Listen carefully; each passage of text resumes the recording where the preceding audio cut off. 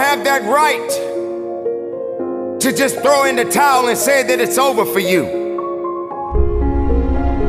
Ladies and gentlemen, you got to understand that the reason that you are existing in this world right now is because you have things that must be done.